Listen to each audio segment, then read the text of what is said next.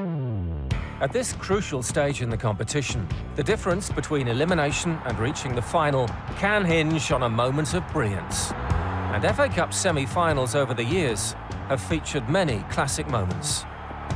Wembley staged a North London derby in 1991 with the mercurial talent of Paul Gascoigne, setting Spurs on the way to a Wembley final return. Is Gascoigne going to have a crack? He is, you know. Oh, I say! Brilliant! That is schoolboy's own stuff. Oh, I bet even he can't believe it. Two years later, a Sheffield derby in the semis witnessed another magical free kick from another Geordie number eight. Chris Waddle, is he going to have a crack? Scores! Anything Paul Gascoigne can do, Chris Waddle can do. Alan Kelly beaten before he touched the ball. It's happened again in a Wembley semi-final. A decade later, Sheffield United were on the receiving end again, with Arsenal's David Seaman conjuring a goalkeeping masterclass.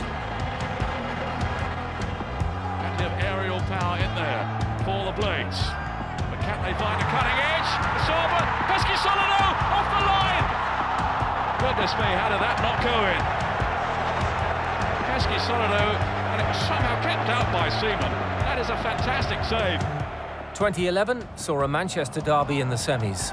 Yaya Toure setting the noisy neighbours on their way to their first trophy of a new era as they edged out Sir Alex Ferguson's Manchester United. Giving it away to Toure, who's in for Manchester City. Yeah! It's the blue side of Manchester celebrating the first goal in the semi-final, the Manchester derby at Wembley. In 1994, Mark Hughes made the difference for United. Oldham were undone in the closing stages of extra time, as Hughes' goal salvaged a replay for Fergie's eventual double winners. It's only a minute to go. hooked back in for Hughes. It's there!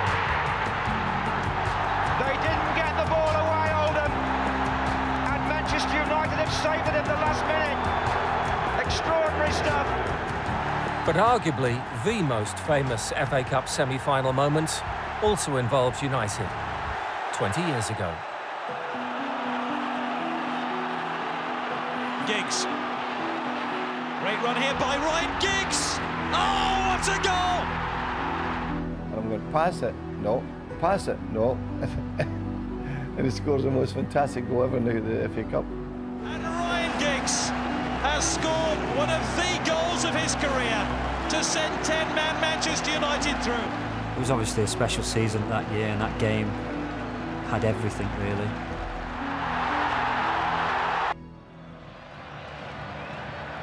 One hundred and twenty minutes of FA Cup football can separate Manchester United and Arsenal on Sunday, but there has to be a winner tonight. Two very good teams, two teams with huge tradition in the FA Cup. Incredible. The drama, us with 10 men, Arsenal missed a penalty, uh, Giggs' goal, I mean, it's everything, absolute everything. Sheringham. Beckham. First blood to Manchester United. Bergkamp. He's got some space. He scored the equalising goal, and Arsenal are right back in the FA Cup. And now Roy Keane is off. oh, what a game! It's his second yellow card. Parlour now for Arsenal. Oh, that's a penalty, surely. It is a penalty in stoppage time at the end of the game. How United need Peter Schmeichel to rescue them now. Dennis Bergkamp can take Arsenal to Wembley.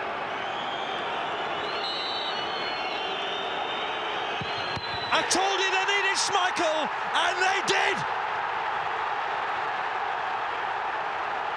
Unbelievable!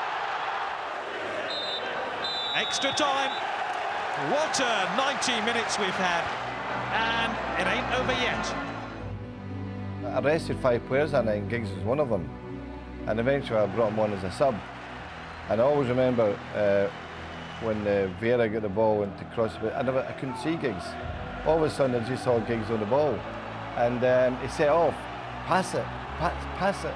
Because Scholesy was coming up and Yorkie was coming up. And I'm going, pass it, no, pass it, no. Oh, what a goal! Would you believe it? Ryan Giggs could have taken Manchester United to Wembley. Unless you've been in that situation, especially if it's a huge goal, you sometimes lose yourself and you don't know what you're doing. Bare-chested, Giggsy. I was obviously delighted to score the, the winning goal in that game and get us to the final. After they scored that goal, I couldn't see Arsenal win actually. And it's, uh, we were only in 10 men too, and I just couldn't see them win because our fans are right up there. And it's there. United are back at Wembley. Semi-finals at Villa Park are like that for United. There was some fantastic moments there, and the crowd are on the pitch at the end of the game, and they, they, were on the pitch when Giggs had scored that goal. It just it lifted our team. I never used to like talking about it when I was playing because I always thought there was, you know, there's more to come. But now I've stopped. I can talk about it as much as I want.